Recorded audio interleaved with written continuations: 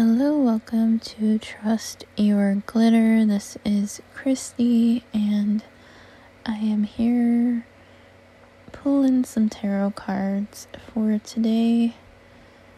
I am going to be on audio for the rest of the week. I'm doing a vacillating experiment, and so I'm going to kind of test myself to see if I can keep things under five minutes. That's my goal. So let's see if I can do a tarot card reading in five minutes or less.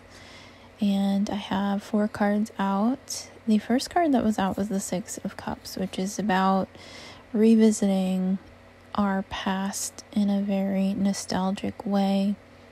I kind of think also in this particular deck that there's um, a spirit guide here. Now, normally in the Six of Cups, there's just two people in the card revisiting one another, but in this particular deck, there's actually a figure in the background kind of keeping watch, like a watchful eye, and making sure that everybody is safe. It's almost like this feeling of needing safety here which is next to the Nine of Swords reversed, which is about anxiety. But in the reversal, I do see this as a positive thing because I have the Nine of Pentacles, which is another nine, and nines are about endings.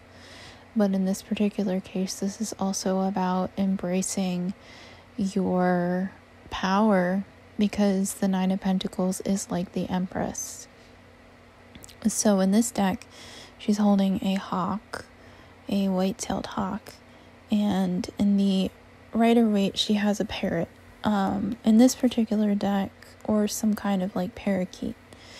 In this particular deck, this is a hawk, and the hawk represents the messages from above and how they can be applied on a very practical scale. So, these can definitely be kind of sudden insights that really do manifest into reality whether it's you know you send out a job application and you get a response and then something really does come through. Or it could be even related to love. And this is also a love card. The nine of pentacles is often seen as a card of romantic um sort of like if somebody has feelings for somebody, usually that message is received. And the hawk is on her left shoulder, which is the divine feminine.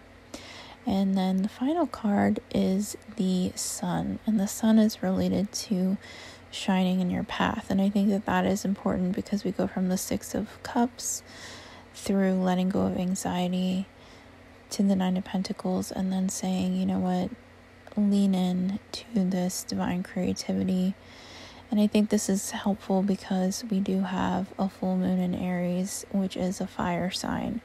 So the sun is related to the sign of Leo. We do have still Venus in the sign of Leo, and she is very much aspecting, you know, Pluto, and then we have a late Uranian transit. So there's going to be a lot of activity here when it comes to following our destiny. And let me just do two more. I'm still in the timing.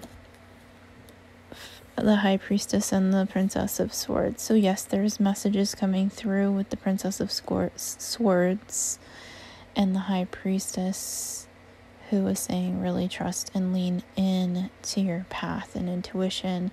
And in this deck, she is related to the full moon. So I do think there's a lot of feminine cards here, and there's a lot of healing gestures, especially related to the primal first chakra. So that is my reading for today. Thank you for listening to Trust Your Glitter. My name is Kristy Belich, Kristy Belich on all social media, Trust Your Glitter podcast. Thank you so much.